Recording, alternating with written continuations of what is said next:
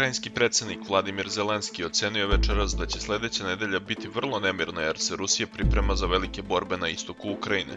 On je u novoj video poruci naveo da se ruske snage spremaju za još snažnije akcije na istoku Ukrajine i da će koristiti još više raketa i bombi, ali je dodao da su Ukrajinci na to spremni.